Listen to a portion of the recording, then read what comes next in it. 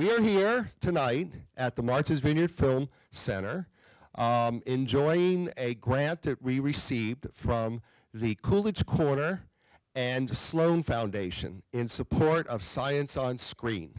And what that means is that they are trying to enhance the image of science, scientists, engineers on the silver screen as a way of promoting science in the general public. And so we will be doing a four film series starting tonight with Bombshell, the Hedy Lamarr story.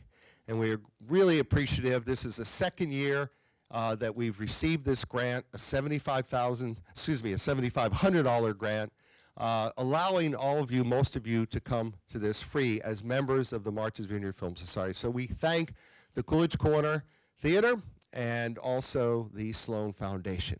Okay, yeah, round of applause, those two organizations. And actually, we'll, we'll show a little trailer, a two-minute trailer before our main film, a little more information about science on screen.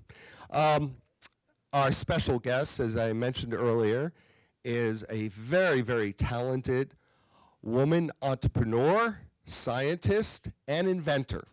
And we felt with the context and subject matter of tonight's film, the Hedy Lamarr story, who to many, maybe you knew that she was an inventor. She invented a, a number of things, including an improved stoplight, though I don't think we have any stoplights on the island. So um, an improved stoplight, but she's probably best known for uh, coming up with a, a spectrum technology. I think it's called spread spectrum technology, which was supposedly going to be used to um, guide torpedoes during World War II uh, because radio frequencies were easily jammed. So she worked on this with a friend and submitted uh, a petition, a, a patent to the uh, Naval Department. Unfortunately, it never got approved by the Naval Department, was never used in World War II. But later on, this same technology became the basis for things like Wi-Fi, you've heard of that, Bluetooth, GPS. How many people use GPS on their phones, in their cars? Most of us do.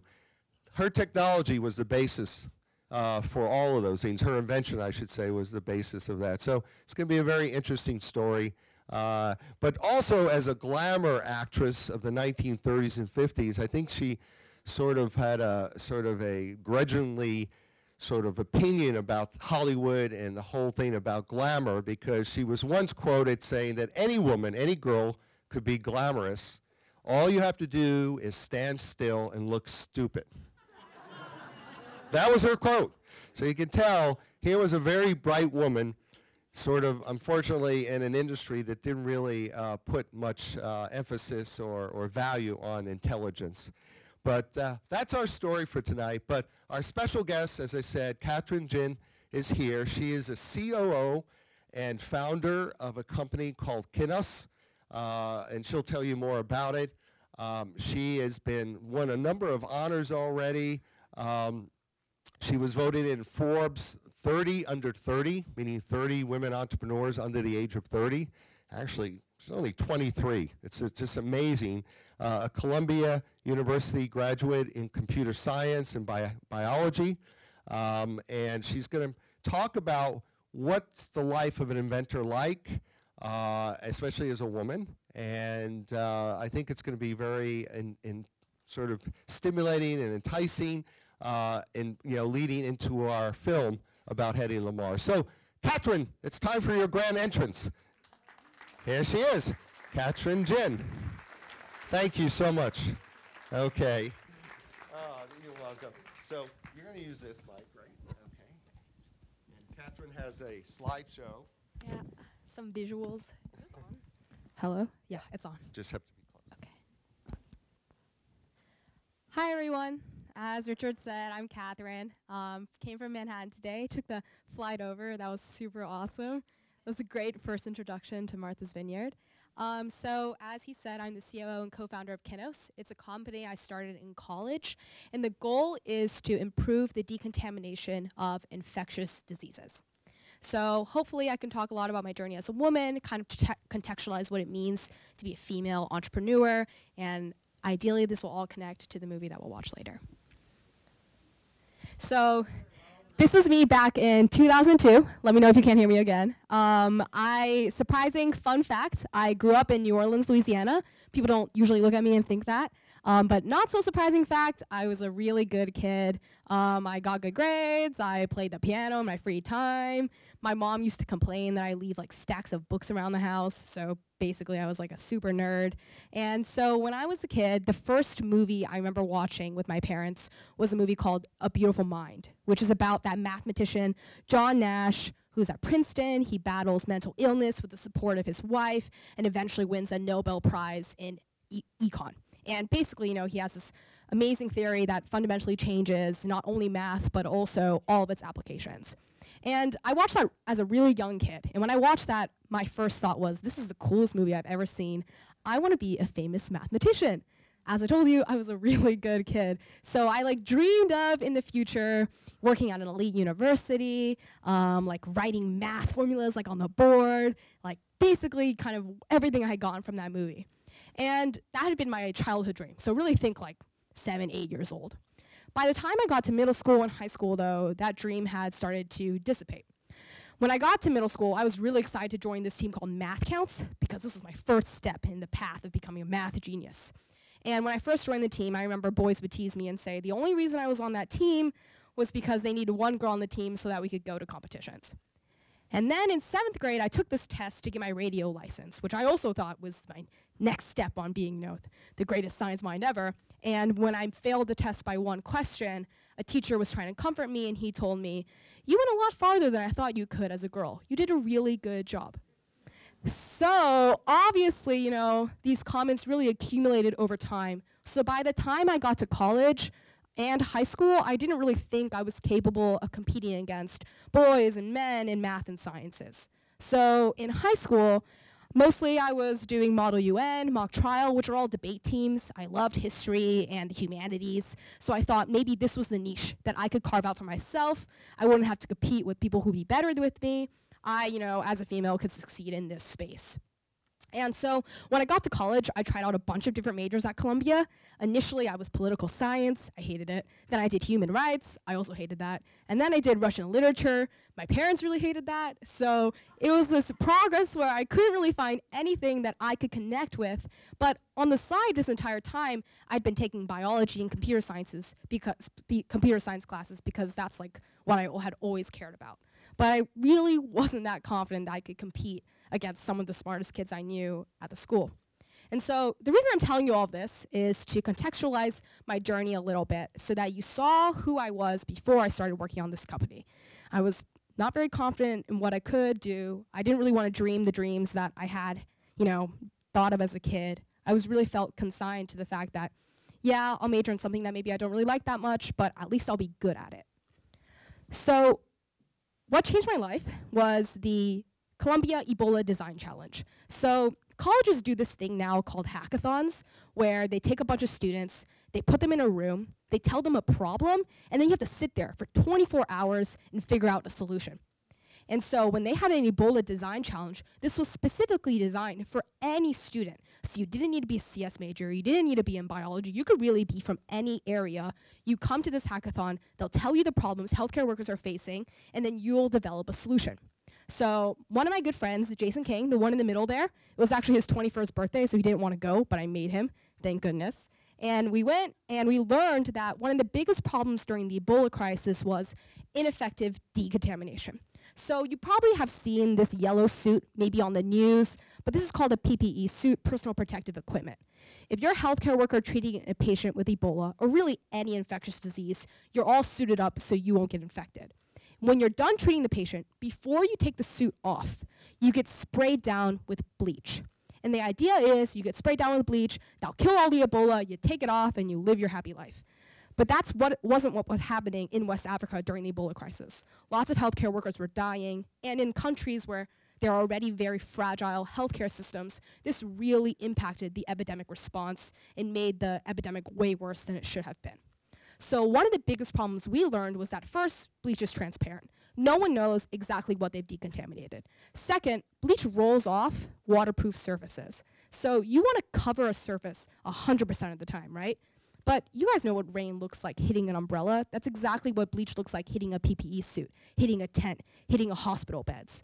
Every surface in a hospital or an epidemic setting is designed to be waterproof. So therefore, when you're throwing bleach on it, nothing's happening. And then lastly, a lot of people don't know that to actually work, disinfectants need to be applied on the surface for a certain amount of time. So, for example, here's a Lysol wipe. You guys have probably used Lysol wipes or some similar brand. And if you look on the back, it says to disinfect, allow to remain wet for at least 10 minutes. I know I have literally never waited even close to 10 minutes when I've cleaned something down with a Lysol wipe. I don't think a lot of us have. And at home, this is not usually that big of a deal. You're not killing like Ebola at home, so it's okay. But in hospitals and in epidemic settings, no one's waiting this amount of time either. So if you're in a hospital getting a minor surgery, if your housekeepers aren't waiting three to four minutes with their hospital grade bleach, nothing is getting killed and you could be susceptible to a C. diff infection, a MRSA infection, a staph infection, which really could cause unnecessary loss of life. So our solution is Highlight. It's a powdered additive that you add into disinfectants at point of use. It colorizes the solution so you can see exactly where you applied it. It also forms this film that sticks. And then the really cool part is that the color fades when decontamination is done.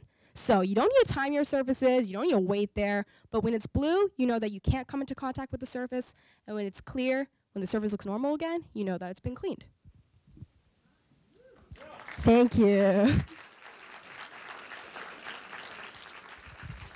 so a lot of people ask us, okay, cool, you had an idea from a hackathon, but how did that turn into a company?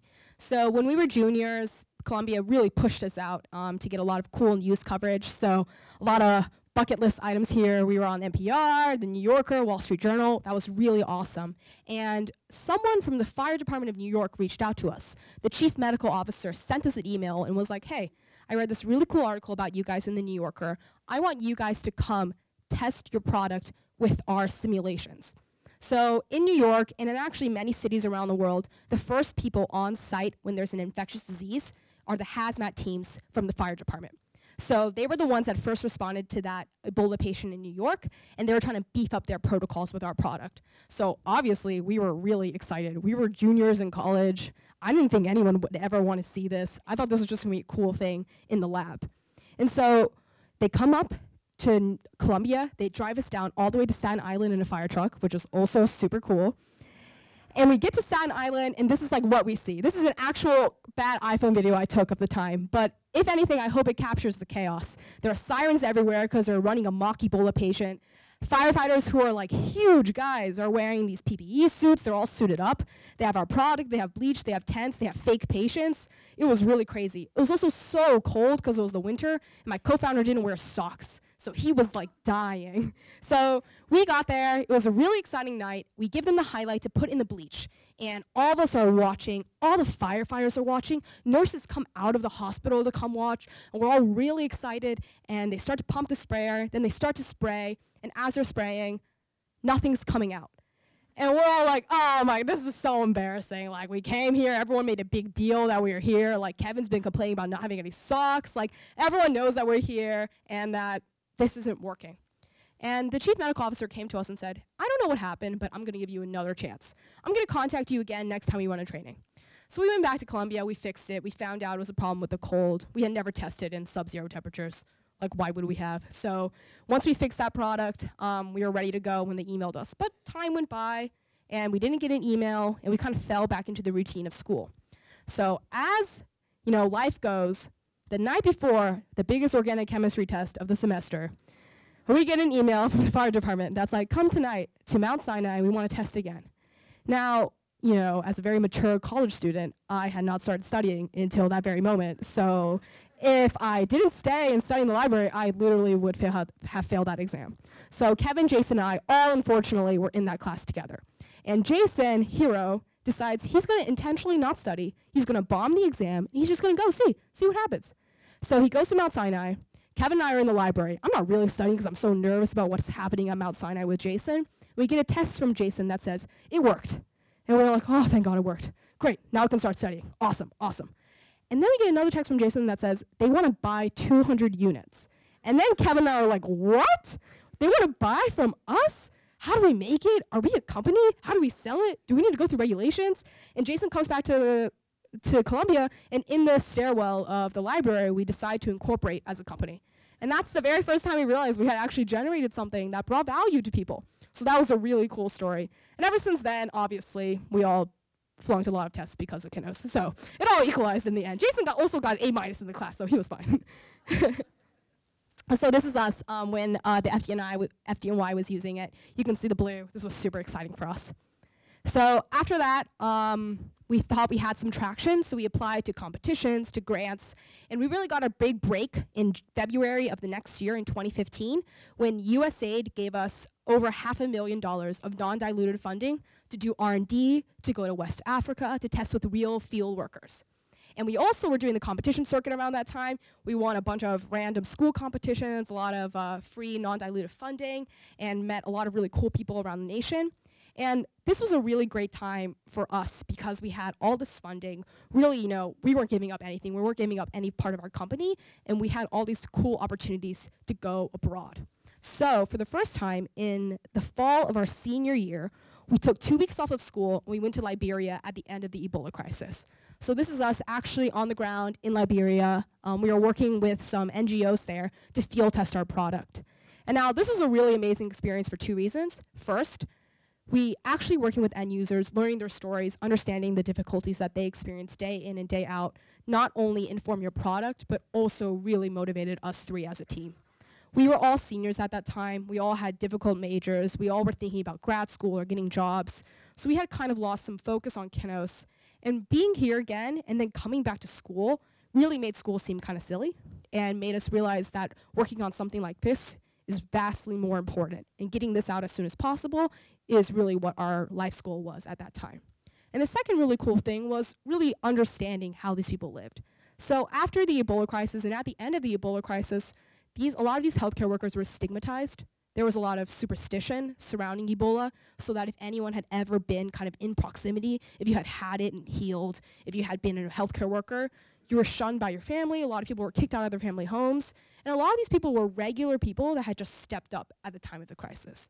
And when we were there and they were using the product and they were loving it and telling us just how much they liked it, it made us feel like we we're really actually making impact like, in their lives. So that was a really cool experience. And we also went to Guinea at the end of our senior year again um, to test. So we field tested on the ground there twice. And I really want to emphasize um, field testing. So a lot of us, you know, when we think of field testing, it sounds like super glamorous, but it wasn't. It was really hard and it really sucked. This is me getting decontaminated in bleach.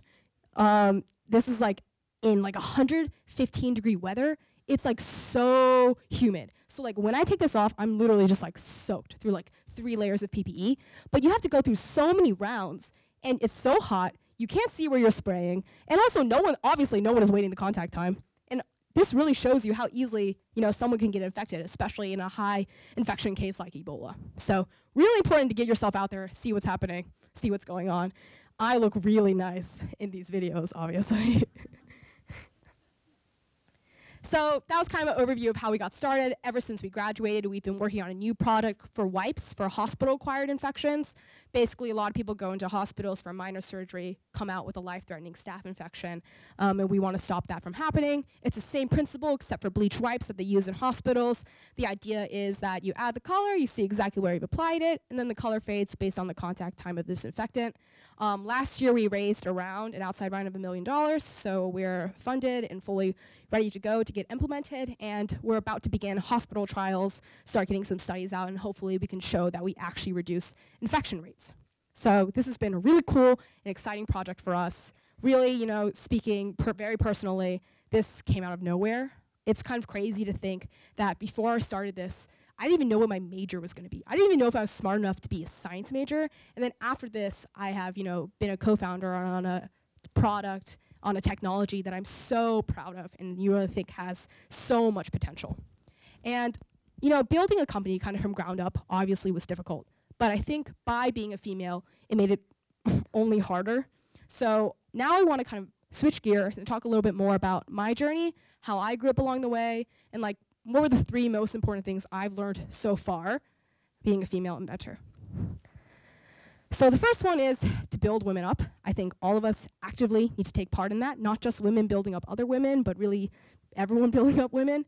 Um, so, you know, running a company with two male co-founders really showed me how differently I was treated. For example, if I was pitching at a competition and my two male co-founders weren't there, judges and staff would like comment on what I looked like or what I was wearing or my shoes, and obviously showing me that they weren't taking anything that I was saying seriously. We would go to pitch meetings and I would be answering questions or presenting, and literally the entire time, sometimes investors wouldn't even look at me. They would ask a question, I would answer because I knew the answer, right? And then they still were just looking at Kevin and Jason. And so, therefore, it's really not surprising at all that I had entered college and high school thinking that I was incapable of doing all of these things. Even when I had shown them that I could, they still, I was still invisible in those rooms. And this isn't a problem just faced by women, it's also faced by a lot of people of color. And I think my advice that I had gotten a lot when I was growing up was don't take it too seriously, don't take it personally, like, don't make a fuss, don't be dramatic, don't be sensitive like, put your head down, work really hard, your work will speak for itself. That's what I always thought.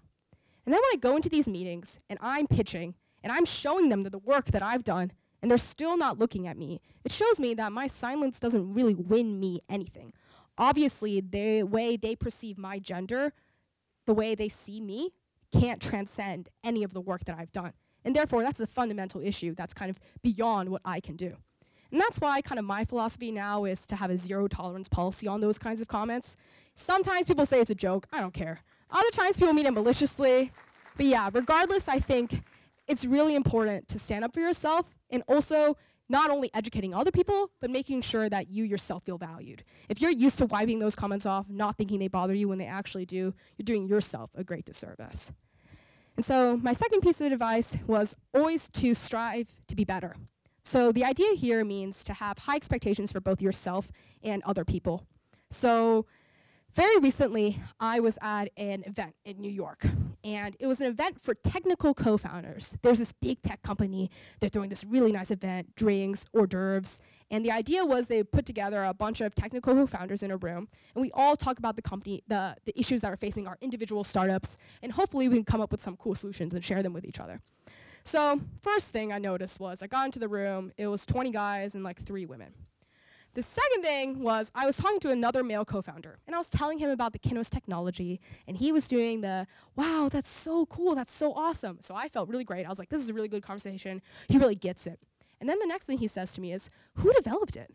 And then I said, me, I'm at this technical co-founder event. Why wouldn't you think I had developed it? And he was like, you? No. And then obviously, I think he could tell that I was upset. I probably looked the same level of annoyed that I look right now. And he immediately backed off and he said, No, no, no, no, no, don't take it that way. Don't take it that way. I didn't mean it that way. But what other way could you have meant that? Like, he didn't know me. He didn't know how smart I was. He didn't know what I knew. He just saw me and didn't think I was capable of doing it. And I'd like to think I'm not like a dumb looking person. Like, really, what could have been, we all know is my gender. And I think this happens to me a lot a lot of the time when I call out people for talking down to me or mistreating me, their first response is, I didn't mean it that way, or don't take it like that. And I think instead of always trying to like hasten to cover up your mistakes, make excuses, these are all really great opportunities to actually learn something and, you know, be better. So what could that guy have done? He could have said, I'm sorry. I understand that the way I spoke to you was about your gender, and I'll think about why I did that and get better in the future. That's it. I don't need you to like kiss my feet or like buy me stuff. Like all you need to do is just be a good person to show that you've listened to me, right? And so obviously I don't think that guy or any of the other men that have done this to me in my life are horrible sexist pigs who hate their mom. I just think they're like misinformed and they've internalized a lot of stereotypes in society about what women can or can't do. And then when they put that on me, I'm not going to let that happen. So I think it's very important to Therefore, you know, have high expectations for yourself. Make sure that you're constantly questioning yourself, seeing if you're making assumptions about women or people of color that don't really make sense if you think about it a little bit more. And then the last thing I want to talk about, oh, thank you. The last thing that I want to talk about is if they can't see it, they can't be it. So if you ask me right now, like name the most major inventors of your lifetime, I'd say like Bill Gates, Elon Musk, And then if you ask me like of all time, like Nikola Tesla, like Thomas Edison, but that's a pretty homogenous population of inventors. Honestly, standing here right now, I probably can't even name that many women or people of color inventors. And that's not because there aren't any women or people of color inventors, it's just that we don't remember their names.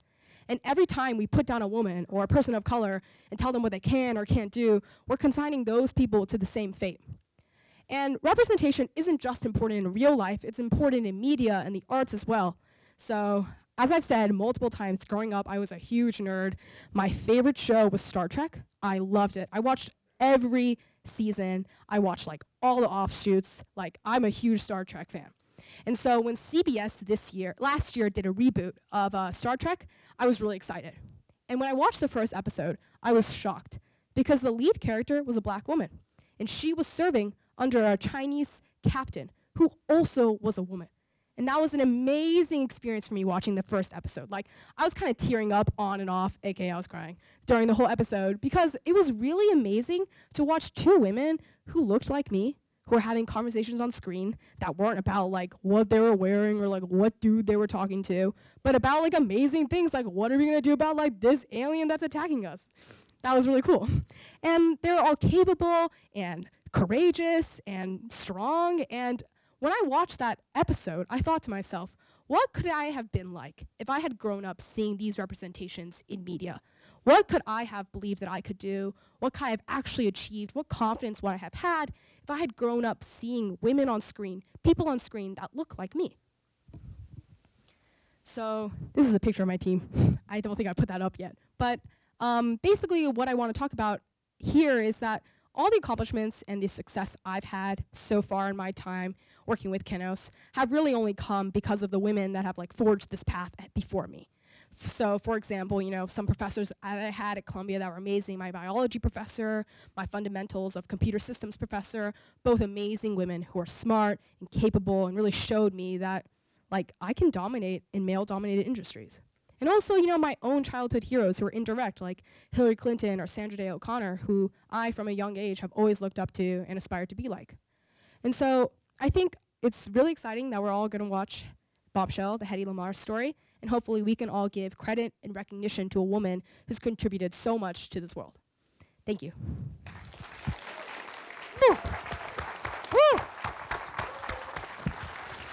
You are a rock star.